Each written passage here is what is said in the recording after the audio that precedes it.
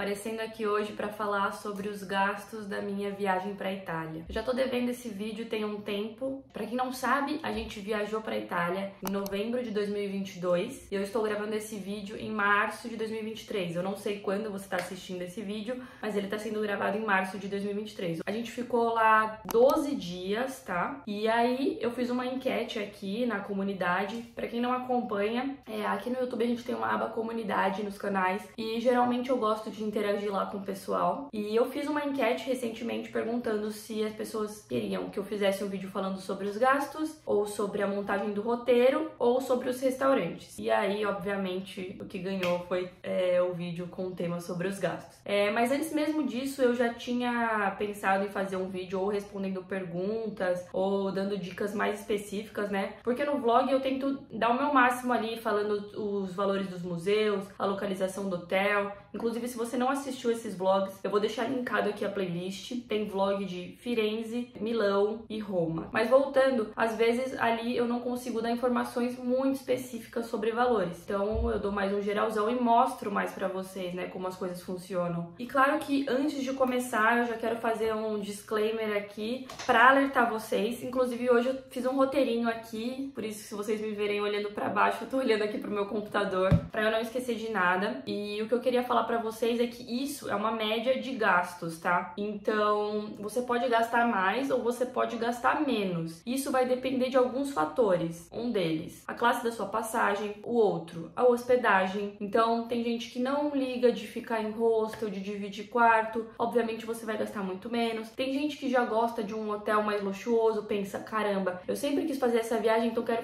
ficar no melhor hotel, ficar no hotel que tenha banheira no quarto, que tenha mais coisas assim para aproveitar no hotel, de lazer, de entretenimento. Então você pode gastar mais. Também tem muito a ver com a temporada. Então se você vai viajar em alta temporada, provavelmente você vai pagar mais caro. E que eu já posso falar para vocês que não foi o meu caso, porque eu viajei no último dia de outubro e fiquei ali, né, a primeira quinzena, os primeiros 10, 12 dias de novembro. Então, todos esses fatores, eles vão sim influenciar em quanto você vai gastar. Agora, eu vou classificar para vocês a minha viagem. A minha viagem, eu acredito que tenha sido uma viagem intermediária. Ela não é uma viagem muito low cost, que você vai gastar pouco, mas também não é uma viagem de luxo, assim, a gente não, não é muito apegado a, não, vamos voar de executiva, a gente nunca voa de executiva, ai, vamos ficar num hotel caro, não, a gente não fica em hotel caro, mas a gente também não gosta de hostel, então a gente nunca ficou em hostel. Eu, quando fui uma vez, foi a primeira vez que eu fui com a minha tia, que eu fui para Paris, a gente rachou um Airbnb e a experiência foi boa, mas o Lucas não gosta, assim, de ter que ficar preparando as coisas e tal, e eu também acho que se a gente tá de férias, a gente tem que descansar, então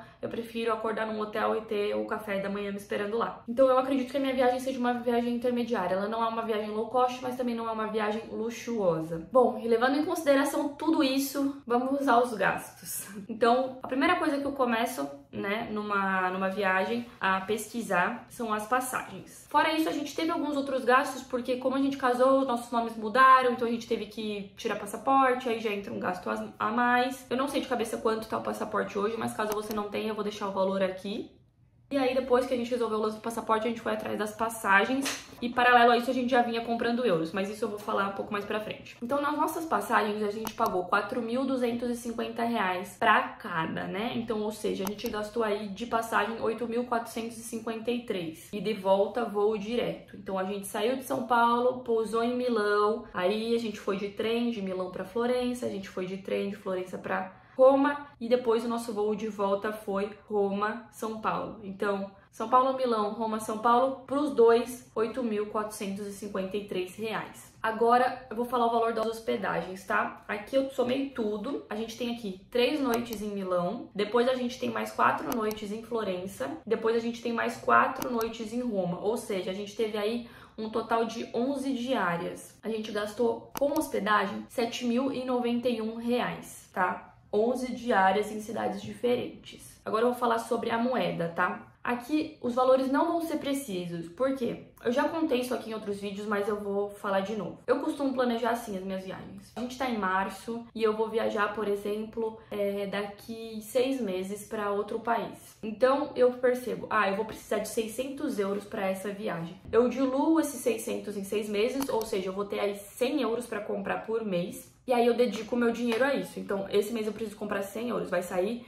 X reais da minha conta. Só que esse valor varia. Por quê? Porque a cotação do euro muda todo dia. Então aqui eu vou falar com vocês baseado na cotação do dia 19 de março, que foi quando eu fiz o, esse roteiro. No dia 19 de março, o euro turismo ele tava 5,61. Então, eu me propus nessa viagem a gastar 120 euros por dia, tá? Eu e o Lucas. Vamos levar em consideração então 60 euros por pessoa. Foram 120 euros vezes 12 dias, o que deu no total 1.440 euros. Então a gente levou 1.440 euros para a viagem. Levando em consideração a cotação do dia que eu falei para vocês, 5,61, a gente teria gastado 8.078 reais. Então pode variar, a gente pode ter gastado um pouquinho menos ou um pouquinho mais, porque a cotação oscilou. De euro, posso falar para vocês que a gente gastou aproximadamente 8 mil reais, tá? Depois, mais perto da viagem, a gente acabou comprando um pouco mais de euro, porque a gente viu que tava sobrando uma grana, que daria certo. Então, se a gente quisesse comprar alguma coisinha lá, como eu mostrei pra vocês,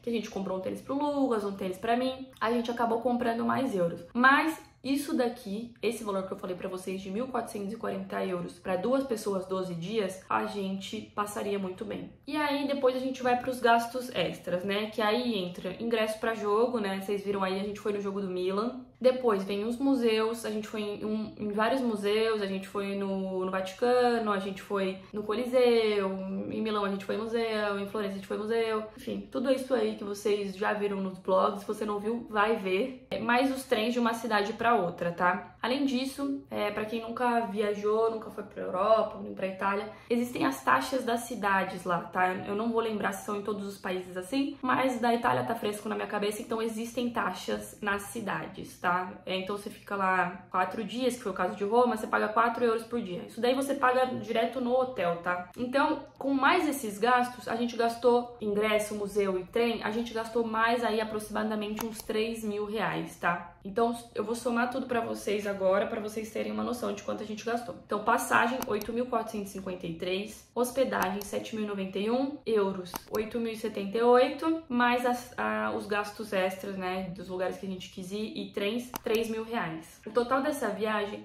foi aproximadamente 26 mil reais, 622 reais. 26.622 reais. Então, isso vocês têm que levar em consideração que foi uma viagem para a Itália de 12 dias, né? 11 noites, 12 dias, três cidades, ficamos em hotel, pegamos voos direto, não passamos vontade de nada e ainda compramos coisas que nem tava aí nesse orçamento, que foi o dinheiro que sobrou. A gente gastava, em média, em cada refeição, uns 40 euros, tá? Então dava aí uns 80 euros de, de refeição, né? O jantar, mais o almoço, mais jantar. E além disso, o café da manhã a gente tomava no hotel, então não tinha o gasto. De vez em quando à tarde a gente tomava um sorvete, tomava um café. Não era um gasto muito. Nossa, gente, tá muito calor não era um gasto muito expressivo, tá? Agora uma pergunta, né, já saindo um pouco da, de gastos, uma pergunta que costumam me fazer, ah, você levou tudo em espécie, você levou no cartão? Eu levei é, uma parte em espécie e outra parte no cartão da Wise, que inclusive funciona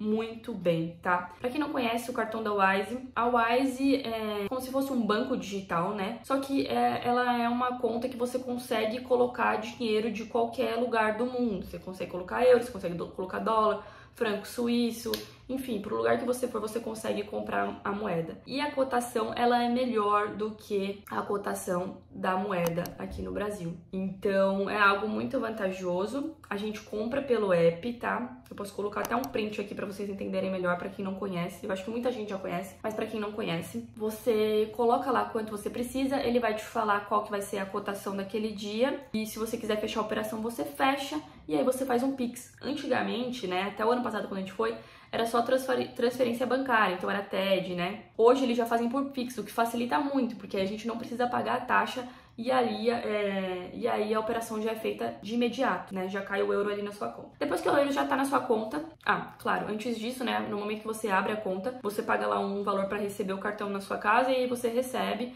Então, eu tenho tanto a via física quanto né, a via do Apple Pay. Eu vou até mostrar a via física, se ela... Não, acho que tá na, na carteira do Lucas. Mas posso colocar um print aqui de como é. E aí lá você usa como um cartão de débito. Então é muito fácil, passa em todo lugar. Na bandeira é Visa, então não tem nem por que não passar. E, se eu não me engano, eu tenho um, um cupom aqui para você ganhar alguma coisa na sua primeira recarga. Eu vou dar uma olhada, peraí. Ah tá, olhei aqui. É, quem fizer uma transferência de mais de 3 mil reais para conta da Wise não vai pagar taxa com esse link que eu vou deixar aqui é, no meu vídeo.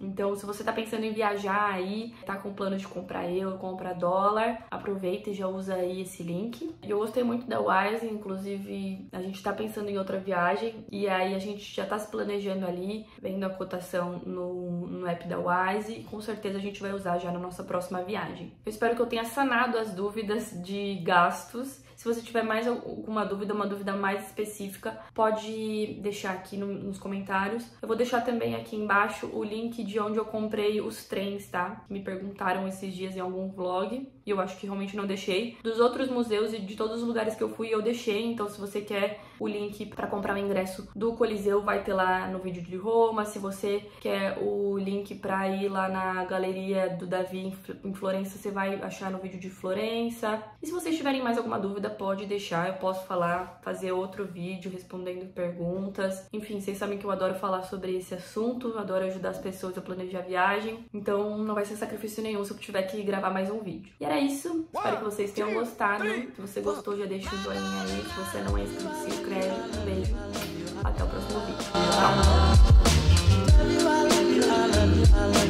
Tchau!